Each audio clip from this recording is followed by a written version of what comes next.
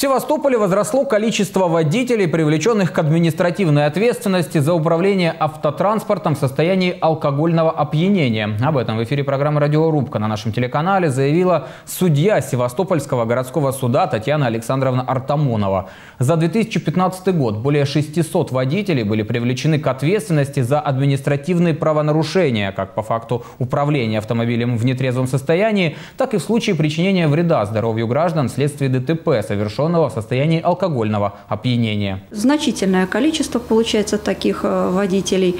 И практически нет прекращений производства по делам по таким. А, потому что, э, в принципе, правоохранительные органы стараются закреплять доказательства все по делу, привлекать понятых, соблюдать процедуру. Соответственно, видео сейчас фиксация используется. Напомним, в соответствии с недавними изменениями в законодательстве теперь суды обязаны расценивать видеозаписи в качестве доказательств по делу, тогда как ранее это решение было оставлено на усмотрение суда.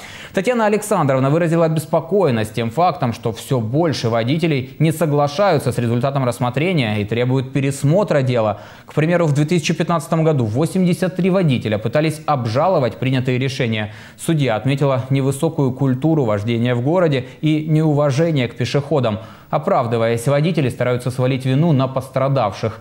Кроме того, в Севастополе гораздо чаще, чем на материковой части России, выявляют водителей в состоянии наркотического опьянения.